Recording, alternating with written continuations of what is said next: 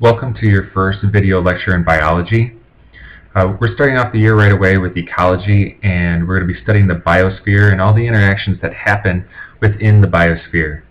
And the thing I want you to think about over the next few days as we're working is how is the Earth in a scientific sense a living planet? We know that the planet Earth is not actually living but is the only planet that we know of that has life on it. And so we're going to be studying the interactions that are happening within our biosphere. If we take a look at the word ecology, uh, it has a suffix at the end that we already know, uh, and we know that ology stands for the study of.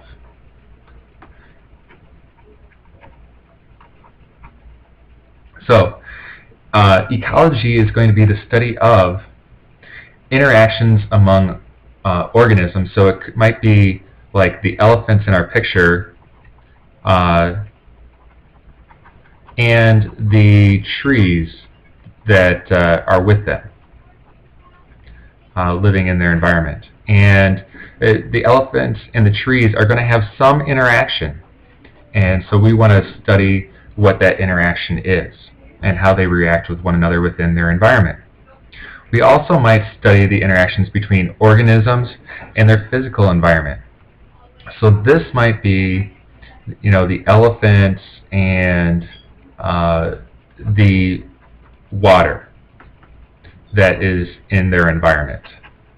Water is not living, and, but the elephants are going to be using the water, and if the elephant herd is too big, maybe they run out of water, and that's going to affect the rest the rest of the environment.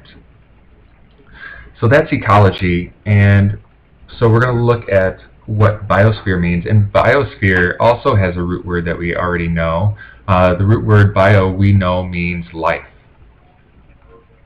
And the biosphere consists of a couple of things. Number one, it consists of everything that is living on the planet Earth.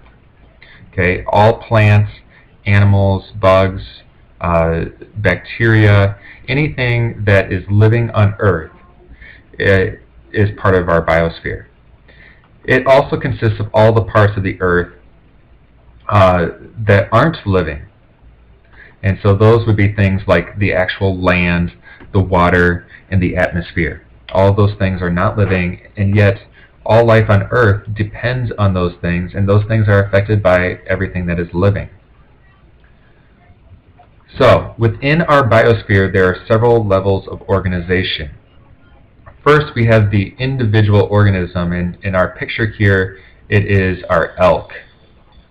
So we can take one individual and do and look at how they use the environment around them.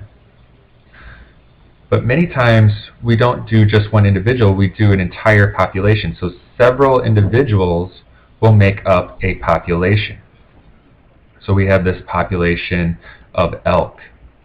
We might do a study on how that population within uses their environment. Uh, if we have several populations of several different types of animals, that makes up a community. If they're all living with one another, that makes up a community. So we have the elk, we have the moose, uh, we've got uh, what looks like a wolf here of some sort, an owl. We've got the trees, the grass, uh, the air, uh, the different types of birds, rabbits.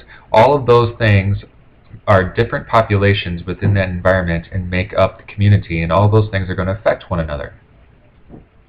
If we have several communities, that is going to make up an ecosystem. And I got a little bit behind here. There's community, here's ecosystem.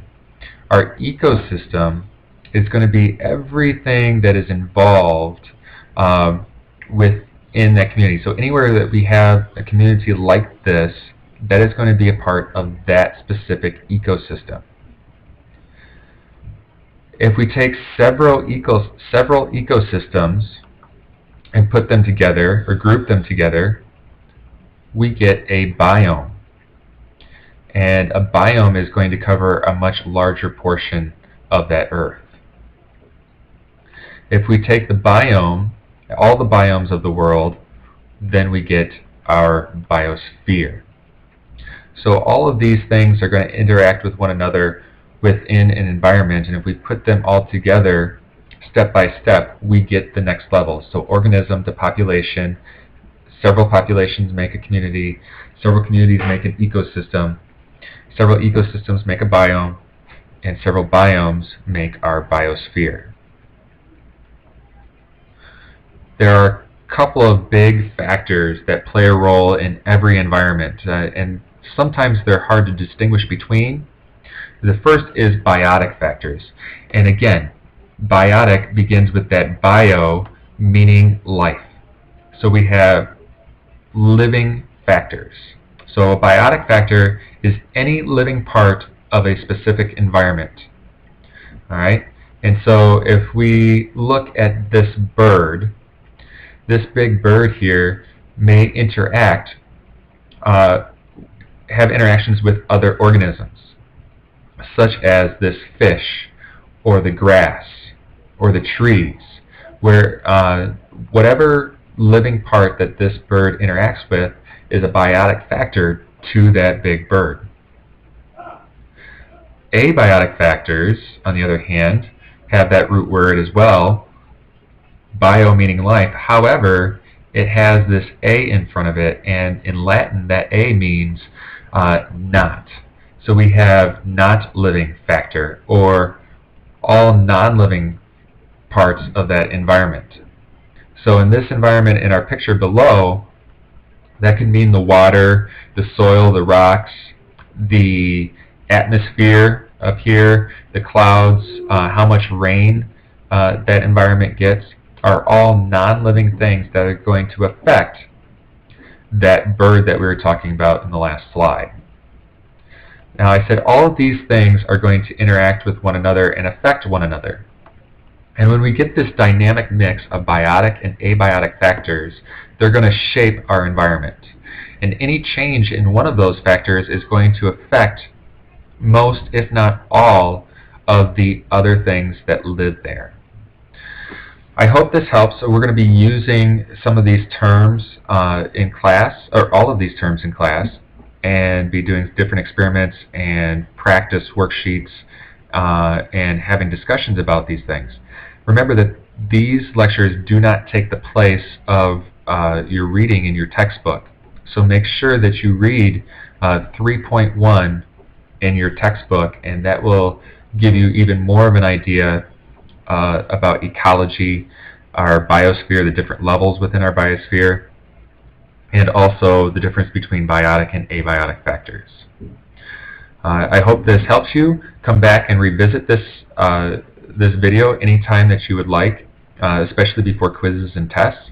Uh, that might be a good way for you to study for your quiz or test that'll be coming up in the next couple of weeks. I hope everybody has a good night, and I'll see you all in class.